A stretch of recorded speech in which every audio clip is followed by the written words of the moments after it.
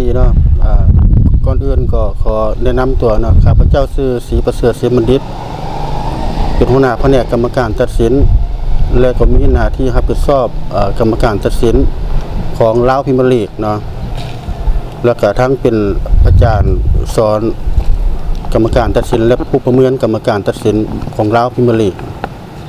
เกี่ยวกับกรรมการตัดสินฟีฟ่าของพวกเขาเอ่อปัจจุบันนี้มีทั้งหมด เจ็ดคนเนาะแล้วก็อีกคนหนึ่งละแม่นกรรมการฟีฟ่าซ่อกรรมการตัดสินฟีฟ่าเขามีทั้งหมดสามคน แล้วก็มีผู้ช่วยสี่คน แล้วก็อีกคนหนึ่งแม่นกรรมการตัดสินฟีฟ่าฟุตซอลนะกับกรรมการตัดสินของรับพิมลีก 2016 นี่เนาะเขามีกรรมการทั้งหมด 30 คนเนาะ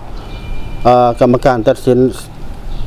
10 10คนแล้วก็ผู้ช่วยกรรมการตัดตัดสิน10คน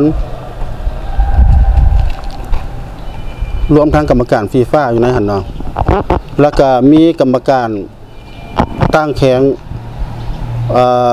ห้าคนเนาะมีอาจารย์ประซักแล้วก็สวรรณเขต ที่มาร่วมตัดสินลาวพิมยร์ลีกนำพวกเฮาเนาะก่อนเอ่อ ก่อนจะเปิดการแข่งขันลาวพิมยร์ลีกพวกเฮาได้ฝึกอบรมยกยกระดับกรรมการตัดสินลาวพิมยร์ลีก ในวันที่22ถึงวันที่25เดือนสองที่ผ่านมานี่เนาะมีนักสมณกร30คนอ่าในหันพวกเขาก็ได้ฝึกอบรมเป็นจำนวน4วัน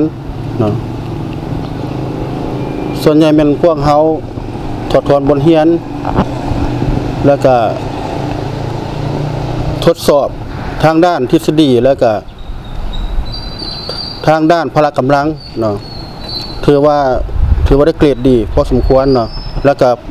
เกี่ยมพร้อม พร้อมทุกอย่างแล้วที่จะเข้าร่วมตัดสินในการแข่งขันลาวพรีเมียร์ลีก 2016 ในปีนี้เนาะถือว่าพวกเขาพร้อมแล้ว เดี๋ยวนี้เขาสอบเสียงทางด้านทฤษฎีหันได้ ได้85%เปอร์เซ็นาะแล้วก็ทางพละกำลังกับ85%เปอร์เซ็นต์เท่ากัน มีกรรมการใหม่ประมาณห้าคนเนาะห้าคนที่ว่าเขาสแตนบายไว้ส่วนใหญ่เขาก็มีพวกเก่าแหละเนาะกรรมการตั้งแข่งมีห้าคนเนาะแข่ง